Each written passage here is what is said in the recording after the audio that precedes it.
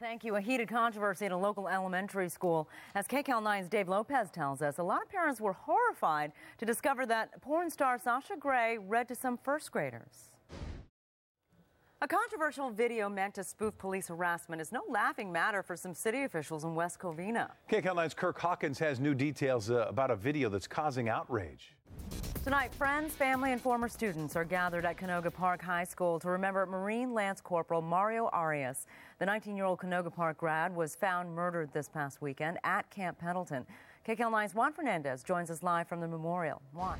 All right, Evelyn. As Conrad Murray was on trial, few people knew that he was shooting a documentary about the trial.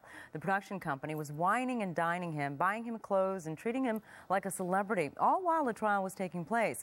KCAL 9's Randy Page talked to a security executive who saw it all unfold. Exciting. I like vampires and werewolves. Have I told you that? Me too. You do. I do too. do. Me too. Very interesting. I can't wait to see the movie. But anyway, let's talk about the weather because Yes. we are. Fri- It's Friday. Those people are going to need It's those tents for sure, right? Oh, yeah. Down. Only a cat. Yeah. Well, today we'll go down in history. It is 11 11 11. That's right. Some people are saying this is a lucky day. And as uh, KCAL 9's Serene Branson shows us, the day was marked with significant events.